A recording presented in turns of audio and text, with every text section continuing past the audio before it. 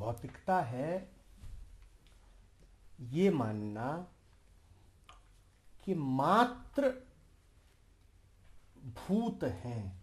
भूत माने ये सारे तत्व जो इंद्रियों से लक्षित होते हैं। हम्म भौतिकता है ये मानना कि इसके अतिरिक्त कुछ होता नहीं। भौतिकता है इस विश्वास में जीना कि जो भी कुछ है वो इंद्रियों द्वारा देखा जा सकता है, सुना जा सकता है, पकड़ा जा सकता है और मन द्वारा समझा जा सकता है। भूत माने समझते हो? भूत माने एलिमेंट। पंचभूत क्या होते हैं? एलिमेंट्स। जैसे अब तुम, तुम्हारा पीरियोडिक टेबल चलता है तो उसमें कितने एलिमेंट्स होते हैं? सौ से ऊपर। हम्म?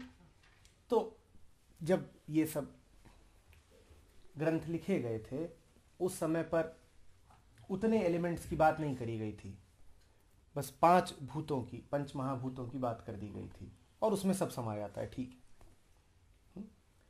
और वो सारे वही हैं जिन्हें आँख देख सकती है, कान सुन सकते हैं, त्वचा स्पर्श कर सकती है और मन जिनका विचार कर सकता है? फिर भौतिकता क्या हुई? भूत यदि ये है तो भौतिकता क्या हुई? भौतिकता हुई ये सोचना कि जो पूरा व्यापक विस्तार है, ये जो पूरा जीवन है, ये जो पूरे ब्रह्मांड का होना है और जो मेरा होना है, वो सब कुछ बस एलिमेंटल है। वो सब कुछ पूर्णतया भौतिक है, वो सब कुछ इंद्रियगत है। जो भी कुछ है, वो वही है जिसे मैं देख सकता हूँ। और यदि कुछ ऐसा है जिसे मैं देख ना पाऊँ तो वो है ही नहीं। ये भौतिकता है। यदि कुछ ऐसा है जिसे मैं छू ना पाऊँ तो वो है ही नहीं। यदि कुछ यदि कुछ ऐसा है, मन जिसका विचार न कर पाए तो वो है ही नहीं। भौतिकता का अर्थ है कि अगर तुम हमसे आके कहोगे कि कुछ ऐसा है जिसका विचार नहीं किया जा सकता तो हम कहेंगे कि वो है ही नहीं। भौतिकता का अर्थ फिर समझो, भौतिकता माने जो भी कुछ है, वो इंद्रियगत है। हम सिर्फ़ भूतों को, भूत माने क्या? भूत माने वो जो इंद्रिय से परिलक्षित होता हम सिर्फ़ भूतों को मान्यता देते हैं। यानी कि हम सिर्फ़ मन और इंद्रियों को मान्यता देते हैं। हम और किसी सत्ता को मान्यता देते ही नहीं। आप हमसे पूछो कि दीवाल है, हम कहेंगे है। क्यों है? क्योंकि दिखती है और छू सकते हैं। आप हमसे कहो कि बिजली कड़की क्या? आप कहोगे, हाँ। क्यों? क्योंकि आवाज़ सुनाई दी। तो बिजली क्यों है? बिजली इसलिए नहीं है कि बिजली है। आपका तर्क है कि बिजली इसलिए है क्योंकि मेरे कानों ने सुना कि है। आपके लिए सर्वोपरि क्या है? आपका कान। भौतिकता है अपनी इंद्रियों को महाआसन पे बिठा देना। भौतिकता है ये कहना कि सबसे ऊपर मन और इंद्रियाँ आते हैं। यदि बिजली कड़के और सुनाई न दे तो बिजली कड़की ही नहीं। हम मानेंगे ही नहीं कि कड़की। बात समझ में आ रही है? ये भौतिकता है। भौतिकता माने संसार वही जिसको सोचा जा सके। संसार वही जो दृष्टिगत हो सके, जो स्पर्शित हो सके। आ रही बात समझ में? भौतिक आदमी अपनी जगह तो बड़ा होशियार है। उसको कुछ फ़ायदे भी हैं। क्या? वो अंधविश्वास से बचता है। तुम उससे कहो कि यहाँ पे कोई भूत प्रेत खड़ा हुआ है। वो कहेगा न दिखाई देता है न सुनाई देता है न विज्ञान के किसी भी प्रयोग से उसका होना सिद्ध किया जा सकता है। तो हम इस निष्कर्ष पे पहुँचते हैं कि जो तुम कह रहे हो कि यहाँ खड़ा है वो खड़ा नहीं, नहीं है। तो बात उसने बिल्कुल ठीक करी। भौतिकता के हमें खूब फ़ायदे मिले हैं क्योंकि जब तक भौतिकता नहीं थी तब तक हम निरे अंधविश्वासी थे। हम ऐसी ऐसी बातों पे यकीन करे बैठे थे जो बिल्कुल कपोल कल्पित। समझ रहे हो बात को? हम कहते थे कि पृथ्वी कछुए की पीठ पे आधारित है। एक विशाल कछुआ है और पृथ्वी उसकी पीठ पर टिकी हुई है। हम कहते थे सूरज को लेकर के एक रथ चलता है जिसमें सात घोड़े जुते हुए हैं।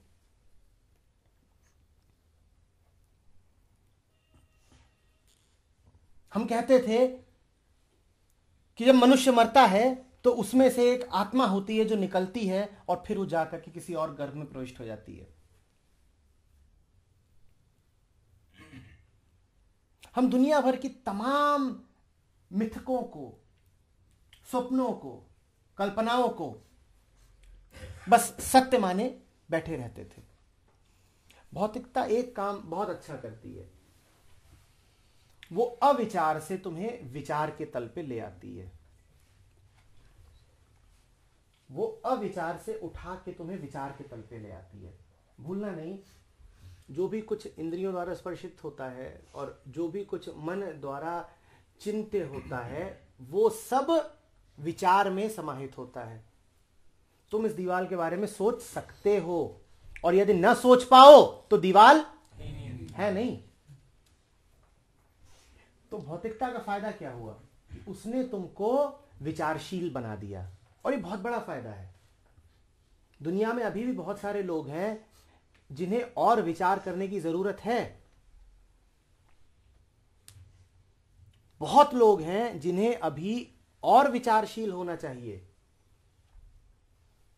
वो विचार नहीं कर पाते। उनके दिमाग ऐसे कुंठित हैं कि वो सोच ही नहीं पाते।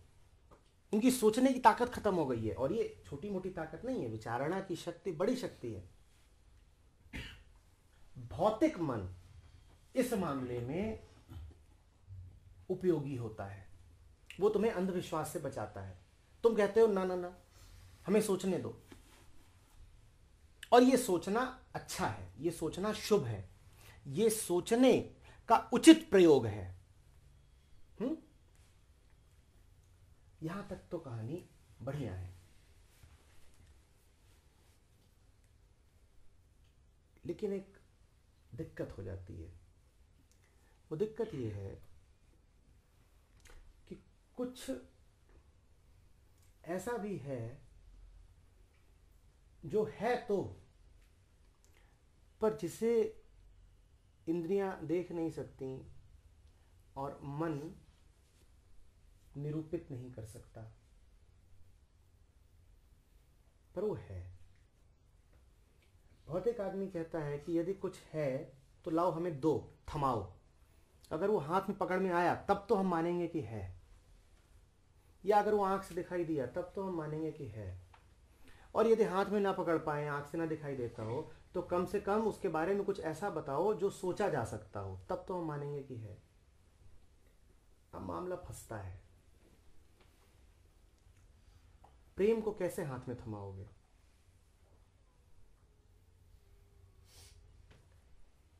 आनंद को कैसे जेब में रखोगे? मुक्ति का क्या रंग है? सरलता का कैसे विचार करोगे? निर्विचार की क्या सोच बनाओगे? सत्य की आवाज़ कहाँ सुन पाओगे? और ये बड़े कीमती हैं, और ये भौतिक नहीं है। भौतिक मन यहाँ आकर के फंस जाता है, अटक जाता है। सांसारिक रूप से तो फ़ायदे में रहता है। भौतिक मन विज्ञान में बड़ी तरक्की करता है। भौतिक मन अंधविश्वास से भी मुक्त हो जाता है। विज्ञान तो उसे मिल जाता है, आध्यात्म के उसके रास्ते बंद हो जाते हैं। क्योंकि उसने तो तय कर रखा है असली वही जो हाथ में पकड़ा जा सके। अब प्रेम कैसे पकड़ोगे हाथ में? असली वही जो जेब में रखा जा सके। सत्य को कैसे रखोगे जेब में? असली वही जिसे कम से कम सुन सकूँ। चलो, सूंघ नहीं सकता, स्वाद नहीं ले सकता तो कम से कम विचार कर सकूँ। आनंद का कैसे विचार करोगे? वो तो या तो है, नहीं तो नहीं है। विचार की वस्तु तो नहीं है आनंद। तो ये जो भौतिक व्यक्ति होता है मटीरियलिस्ट इसकी सजा ये होती है कि ये प्रेम, आनंद, मुक्ति, सरलता, सत्य इनसे वंचित रह जाता है। उसकी ज़िंदगी में ये कभी आते नहीं। क्यों नहीं आते? क्योंकि उसने पहले ही तय कर रखा है कि सच्चा वही जो जो दिखे। अब वो सामने देखता है तो दीवार दिखाई देती है, बाएँ देखता है तो पहाड़ दिखाई देता है दाएँ देखता है तो लोग दिखाई देते हैं पीछे देखता है तो नदी दिखाई देती है नीचे देखता है तो ज़मीन दिखाई देती है ऊपर देखता है तो आसमान दिखाई देता है। सत्य तो कहीं दिखाई देता नहीं। तो उसका निष्कर्ष क्या निकलता है? कि सत्य है ही नहीं। वो जानवर को देखता है तो उसे जानवर दिखाई देता है स्त्री को देखता है तो स्त्री दिखाई देती है। बच्चे को देखता है तो बच्चा दिखाई देता है, पत्ती को देखता है तो पत्ती दिखाई देती है। प्रेम कहीं दिखाई देता नहीं तो उसका निष्कर्ष क्या निकलता है? प्रेम है ही नहीं। ये मटीरियलिस्ट की सजा है। क्योंकि जो कुछ भी वास्तव में कीमती है, वो मटीरियल है ही नहीं। बात आ रही समझ में? भौतिकता बड़ा वरदान है अपनी जगह पर। लेकिन भौतिकता महाअभिशाप है अगर तुमने भौतिकता को अस्तित्वगत सत्य पर भी लागू कर दिया। भौतिकता बहुत बहुत उपयोगी बात है, पर उसको वहीं पर चलाना जहाँ वो चल सकती है। जहाँ वो नहीं चल सकती, वहाँ भौतिकता मत चला देना। यह मूर्खता मत करना कि किसी से कह रहे हो कि जरा अपने प्रेम का प्रमाण दो। क्योंकि सारे प्रमाण किसके लिए होते हैं? मन के लिए। और प्रेम मन में नहीं समाएगा। और ये मूर्खता तुम कर जाते हो कि नहीं? कि मैं कैसे मानूं कि तू मुझसे प्यार करता है? प्रमाण दे। अरे, क्या कर रहे हो? भौतिकता की हद हो गई। तुम प्रेम का प्रमाण मांग रहे हो। तुम प्रेम का ही नहीं, तुम ईश्वर का ही प्रमाण मांगते हो। तुम कहते हो, हम कैसे मान लें कि वो है? अगर है तो अपने होने का सबूत दे। क्या फ़ाइल भेजे तुम्हारे पास? क्या भेजे? लेकिन तुम सबूत मांगते हो यह तो सिर्फ़ बेवकूफ़ी है। चमत्कारों का चमत्कार यह है कि कुछ लोग ऐसे भी हैं जो सबूत दिला भी देते हैं। कि ये देखो, ये लड्डू उसने भेजा है तुम्हारे लिए, खाओ। पराकाष्ठा है ये। भौतिकता की जाने मूर्खता की। और तुम्हें फिर यकीन हो जाता है, ठीक। ब्रह्म लड्डू है। अभी अभी उतरा है ताज़ा ताज़ा ब्राह्मी ब्रांड। परमात्मा में यकीन करने का तुम्हारे पास और कोई तरीका ही नहीं है। तुम प्रमाण मांगते हो, और प्रमाण तो फिर वही जो इंद्रियों को दिखाई दे और मन को सुझाई दे।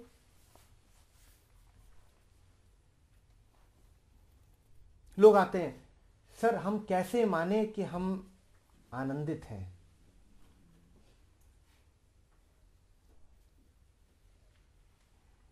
ऐसा है, जब तुम आनंदित हो जाओगे तो तुम्हारे माथे पे भूरे रंग के कुछ इसी तरीके का प्रमाण चाहिए होगा तुम्हें कि पूंछ निकल आएगी। इन्हें आनंद का प्रमाण चाहिए।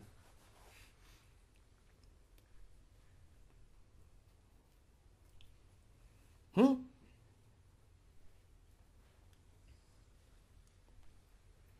और भौतिक मन की अकड़ ऐसी होती है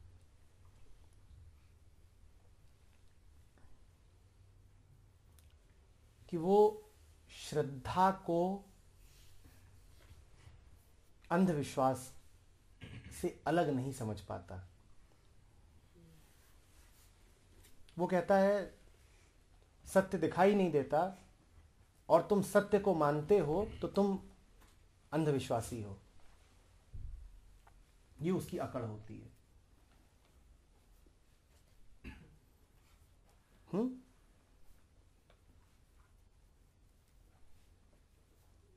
उसकी पहचान ही यही है कि वो इन्हीं सब मुहावरों में बात करेगा।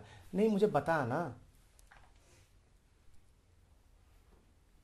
क्या मिल रहा है?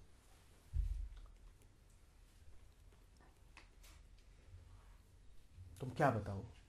कि ढाई शेर जलेबी? वो कुछ ही तरह का उत्तर चाहता है कि वो पूछे कि क्या मिल रहा है और तुम कुछ बता पाओ जिसका रूप, रंग, आकार, वज़न, गंध हो। कैसे बताओगे? प्यार का वज़न दिखाओगे?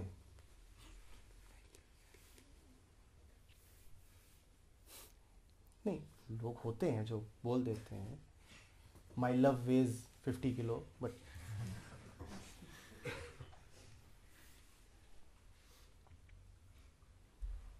क्या मिल रहा है?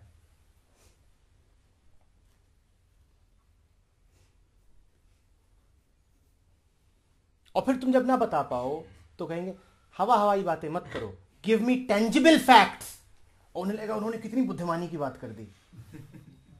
कि मुझे कुछ टेंजिबल बताओ टेंजिबल उनको पूछो पगले टेंजिबल माने वही ना, जो तेरी खोपड़ी में समाये।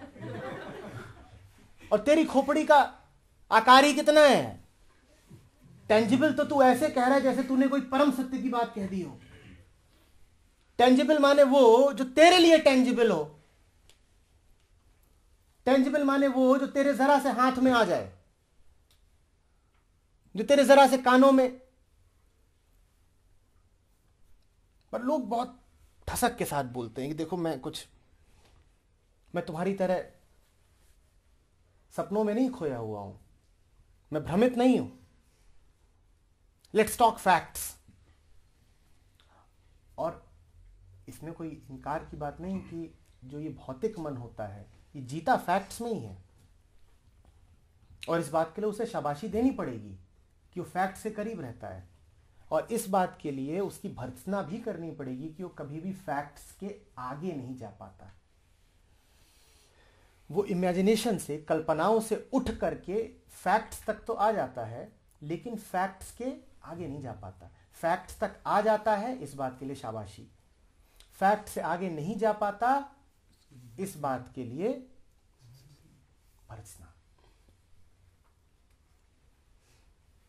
हरी बात समझ में हम्म?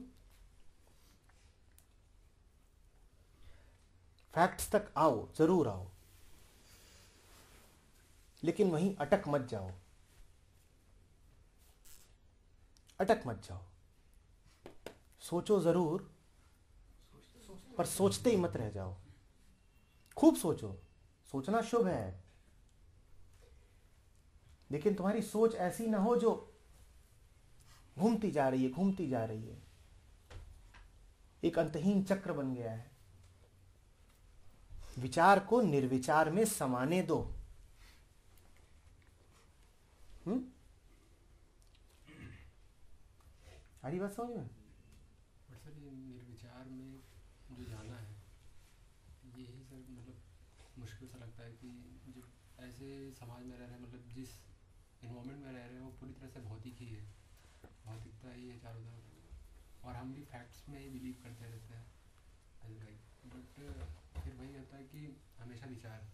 पर विचार से निर्विचार की तरफ़ जाना, अंधविश्वास से विचारों तक तो आगे फिर विचार से निर्विचार तक कैसे जाए? विचार को ही और गहरा करके। इतना तो विचार कर लेते हो कि आँखें संसार को देख रही हैं। पर क्या ये विचार करते हो कि जिसे देखना कहते हो, क्या वो सिर्फ़ एक जैविक रासायनिक प्रक्रिया है?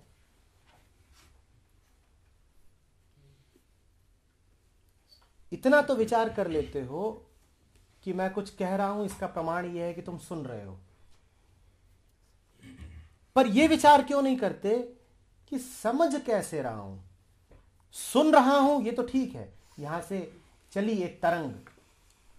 वो तुम्हारे कान के पर्दे पे पड़ी। तुम्हारे कान के पर्दे में कंपन हुआ। वहाँ से एक और तरंग निकली, वो तुम्हारे मस्तिष्क तक गई। वहाँ एक रासायनिक प्रक्रिया हुई। पर ये जो भी हुआ, इस सब में समझ कहाँ है? समझ कहाँ से आ गई? ये विचार क्यों नहीं करते? विचार ही जब गहराएगा तो अपनी सीमा देख लेगा। विचार ही जब गहराएगा तो निर्विचार में उतर जाएगा। बड़े विचारक होते हैं, जो ऋषि बन जाते हैं। ऋषि का निर्विचार बड़े विचार के मंथन से निकलता है। उसने सोचा होता है उसके पास सोच पाने की क्षमता होती है। और सोच सोच के वो उस बिंदु पे पहुँच गया होता है, जो सोच का शिखर है, जो सोच का क्लाइमेक्स है। अब सोच उसके आगे नहीं जाती। हुँ? तुम कहते हो कि अपने चारों ओर देखता हूँ, जो दिखाई देता है, वो भौतिक है। ये देखना क्या है?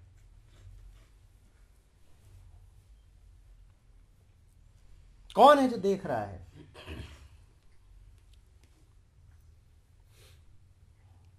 और क्यों जो दिखाई दे रहा है, वो बदलता रहता है?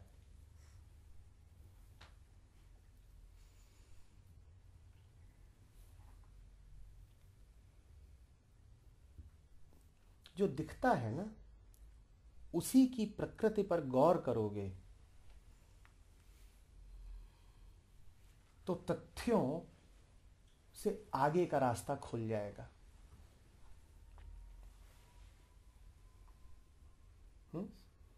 तथ्यों तक जो रास्ता आता है बेटा, वो एक बनी बनाई सड़क है जो तुम्हारा सामान्य एजुकेशन सिस्टम है ना, वो अच्छा है इस मामले में कि वो तुम्हें तथ्यों तक ले आता है हुँ? उसके लिए एक संदेही मन चाहिए। एक ऐसा मन जो काटे, संदेह करे। जो कहे कि, भाई, हम मानेंगे तभी जब प्रयोगशाला में सिद्ध हो जाए। हम यूँ ही नहीं मानेंगे कि अमोनियम क्लोराइड आ गया। चलो ज़रा लैब में करके देखते हैं। हम यूँ ही नहीं मानेंगे कि 9.8 मीटर पर सेकेंड स्क्वायर। जरा गिराओ गेंद को, हम समय नापते हैं। ये संदेह का रास्ता है, और ये अच्छा है। इस रास्ते को बिल्कुल निरूपित किया जा सकता है। किताबें बनाई जा सकती हैं, जिसमें एक प्रयोग, दूसरा प्रयोग, तीसरा प्रयोग दिया हो कि ये प्रयोग करो तो देखो इससे ये सिद्ध हो जाएगा, ये प्रयोग करो तो ये सिद्ध हो जाएगा। और ये बहुत अच्छा है कि एक बना बनाया रास्ता है? विज्ञान का रास्ता है। तथ्यों से आगे का जो रास्ता है ना, वो खुले आकाश की तरह है। वहाँ तुम्हें संदेह नहीं चाहिए, श्रद्धा चाहिए, और ये बहुत बड़ा अंतर है। संदेह बहुत ज़रूरी है। संदेह नहीं करोगे तो तथ्यों तक कभी नहीं पहुंचोगे। संदेह ही नीति नीति करवाता है। संदेह जिसके पास नहीं होगा, वो अंधविश्वासी हो जाएगा। तो संदेह का होना बहुत ज़रूरी है। संदेह तुम्हें तथ्यों तक लेकर आएगा। पर तथ्यों पर आने के बाद अब तुम्हें संदेह नहीं चाहिए, श्रद्धा चाहिए। और अब तुम्हें कोई बना बनाया रास्ता नहीं मिलेगा। श्रद्धा का मतलब ही है कि इसके आगे तो बस तुम्हें राम भरोसे उड़ना है। विज्ञान भरोसे नहीं, राम भरोसे। इसके आगे अब कोई रास्ता नहीं है, जंगल है या आकाश है। जैसे जाना हो जाओ। राम का नाम लो, आगे बढ़ो।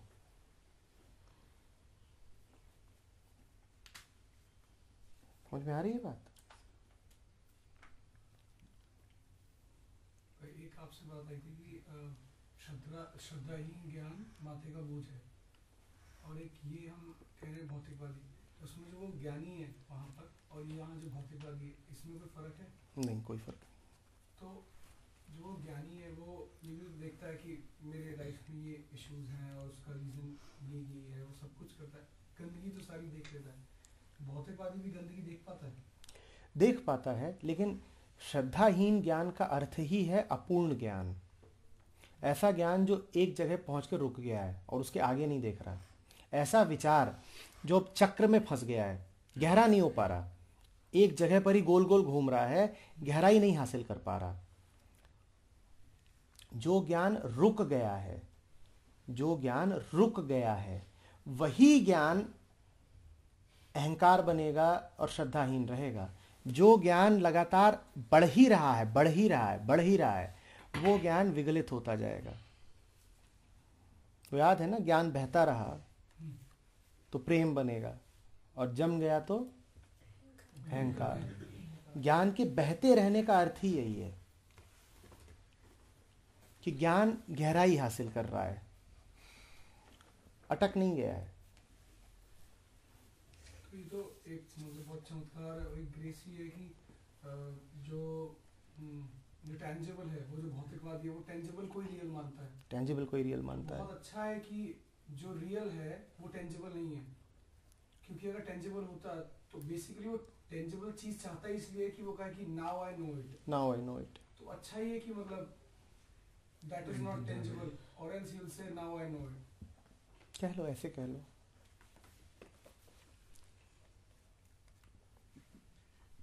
एक सवाल ये था इसमें कि जैसे कुछ चीज़ जैसे कमिटमेंट है या क्रेडिबिलिटी है तो ये भौतिक वाले उसमें आएगी या नॉन भौतिक क्योंकि जैसे कॉर्पोरेट वर्ल्ड का एक तरीका होता है कि भाई कमिटमेंट नाप रहा है क्रेडिबिलिटी नाप रहा है, आपके पुराने ट्रैक रिकॉर्ड को देख रहा है। लेकिन मुझे लगता है ये चीज़ें भी अभौतिक टाइप की ही हैं। तो इसका क्या हो सकता है? देखिए,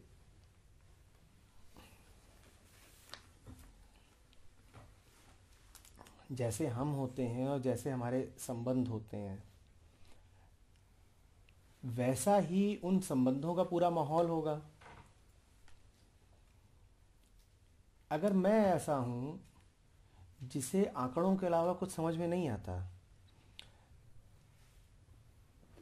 तो मेरे पास कोई विकल्प नहीं है। मुझे कमिटमेंट क्रेडिबिलिटी इन सबको भी आंकड़ों में ही परिवर्तित करना होगा। मैं कहूँगा, किसका कितना कमिटमेंट है मुझसे? जाओ एक टेबल में लिख करके ले आओ।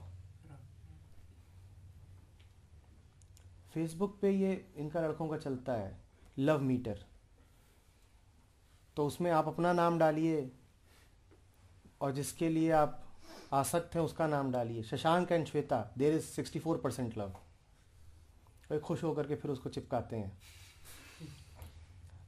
तो ये एक आंकड़ों से घिरे हुए मन का सबूत है। उसे हर चीज़ आंकड़ों में चाहिए ही चाहिए। कोई उसके पास अब विकल्प नहीं हो क्या करे? आप अगर उसको जाके बोल भी देंगे कि भाई कमिटमेंट माने निष्ठा, और निष्ठा तो आध्यात्मिक होती है। वो आंकड़ों में नापने वाली नहीं होती। तो भी वो मजबूर है, वो करेगा क्या? वो कहेगा, मैं खुद नहीं जानता अध्यात्म क्या है। तुम मुझे क्या कहानी सुना रहे हो? या तो पहले तुम मेरे लिए अध्यात्म का रास्ता प्रशस्त करो। तुम मुझे यह ना बताओ कि मैं अपना ट्रैकर बदल दूँ। ये बिल्कुल भी मत बताओ। तुम मुझे बदल दो तो मेरा दुनिया को देखने का तरीका खुद बदल जाएगा। आज तो मैं जिसको भी देखता हूँ, आंकड़ों पे ही नाप के देखता हूँ। क्यों? क्योंकि मैं खुद अपने लिए एक आंकड़ा हूँ। तुम मुझसे पूछो कि मैं कौन? तो मैं दस आंकड़े रख दूँगा, मैं ये, मैं वो, इतने मेरे पैसे, इतने मेरे घर, ये मेरी उपाधियाँ, ये पदवियाँ, ये हासिल किया, ये खोया। जब मैं अपनी ही दृष्टि में एक आंकड़ा हूँ तो मैं पूरी दुनिया को कैसे देखूँगा? एक आंकड़े के तौर पे ही तो। तो मुझसे ये मत कहो कि मैं अपनी मैट्रिसेस बदल दूँ दुनिया को देखने की। हाँ मेरी मदद करना चाहते हो तो मुझे बदल दो। पर इतना कह देता हूँ, मुझे बदलने आओगे तो गर्दन काट लूँगा तुम्हारी। दुनिया में हर साधक का वक्तव्य यही होता है कि मेरी मदद करो, मेरी मदद करो, मैं बहुत कष्ट में हूँ, मुझे बदल दो। और इतना कह देता हूँ, मुझे बदलने आओगे तो गर्दन काट लूँगा तुम्हारी। ये हर मदद करने वाले की, हर गुरु की विडंबना है कि तुम्हारे सामने जो खड़ा हुआ है, जिसे मदद चाहिए, वो एक और तो ये कह रहा है कि मदद करो, दूसरी ओर ये भी कह रहा है कि लेकिन साथ में बता रहे हैं, हाथ जोड़ के ही बता रहे हैं कि जाओ, हमारी मदद करने आएँगे, हम आपकी हत्या कर देंगे। लेकिन मदद करिए ना। देखिए, आप इतने महान हैं, आप अपनी हत्या करवा सकते हैं। मदद करिए ना। अभी आपको तय करना होता है कि आपके प्रेम में कितनी गहराई है। वो ईमानदार है, उसने बता दिया। कि मुझे मदद की भी ज़रूरत है, लेकिन मदद करोगे तो मार डालूँगा। अभी आपके प्रेम की गहराई पर है कि आप किस हद तक अपने आप को जला सकते हैं उसके लिए हुँ?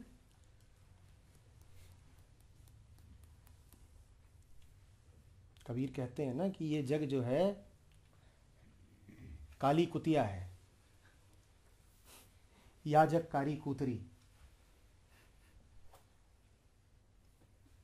जो छेड़े सो खाए। इसे जो ही छेड़ेगा, ये उसी को काटती है।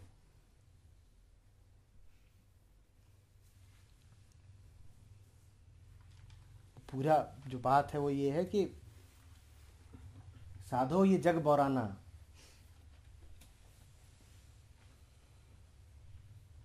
झूठ कहूँ तो खुश रहता है और सच बोलूँ तो मारने आता है।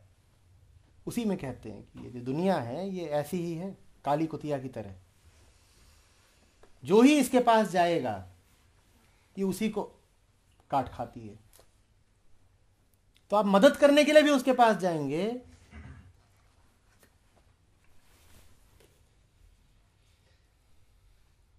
आपको आप देख लीजिए, आप